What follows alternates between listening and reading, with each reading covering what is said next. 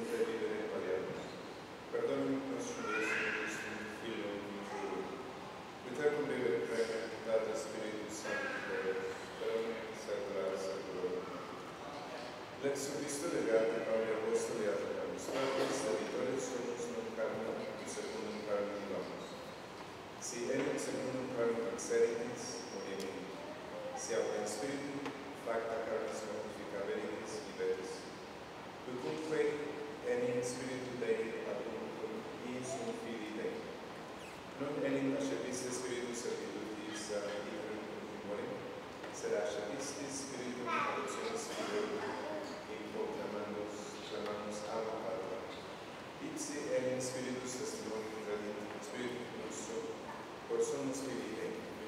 Se há um filho, heredas, heredas qui, qui lei, heredas ad Cristo. Esto me quinta, meu retorno, que é o meu controle, o sabão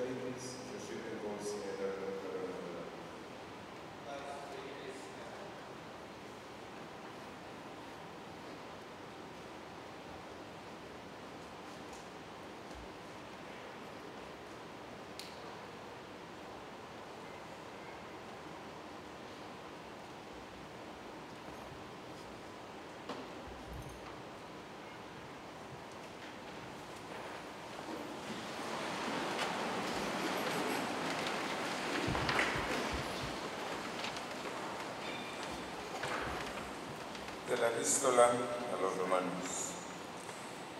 Hermanos, nada debemos a la carne para que vivamos según la carne. Si viven según la carne, morirán, mas si con el Espíritu hacen morir las obras de la carne, vivirán. Todos cuantos se dejan guiar por el Espíritu de Dios son hijos de Dios. No han recibido el espíritu de servidumbre para obrar todavía con temor, han recibido el espíritu de adopción de hijos, en virtud del cual clamamos, Abba, Padre. El mismo espíritu testifica a una con nuestro espíritu que somos hijos de Dios. Y si somos hijos de Dios, somos herederos de Dios y coherederos con Cristo. Nos ponemos. Del Evangelio según San Lucas. En aquel tiempo dijo Jesús a sus discípulos esta parábola. Había un hombre rico que tenía un mayordomo y éste le fue acusado por dilapidador de sus bienes. Lo llamó y le dijo, ¿qué es esto que oigo de ti? Da cuenta de tu administración, porque en adelante ya no podrás ser mayordomo. Entonces el mayordomo se dijo, ¿qué haré? Pues mi señor me quita la gerencia. Para acabar no valgo y para mendigar me da vergüenza. Ya sé lo que voy a hacer para que cuando sea removido de mi puesto, haya quienes me reciban en su casa. Llamó pues a cada uno de los deudores de su amo y les preguntó, ¿cuánto debes?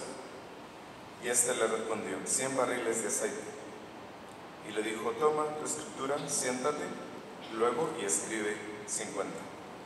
Después le dijo a otro, ¿y tú cuánto debes? Y él respondió, que cien cargas de trigo. Le dijo, toma tu obligación y escribe ochenta. Y alabó el amo a este mayordomo infiel por su previsión, porque los hijos de este siglo son en sus negocios más sagaces que los hijos de la luz. Y yo les digo a ustedes, háganse amigos con el inicuo dinero para que cuando él les faltare, aquellos lo reciban en las moradas eternas. Está ahí el Evangelio del Señor.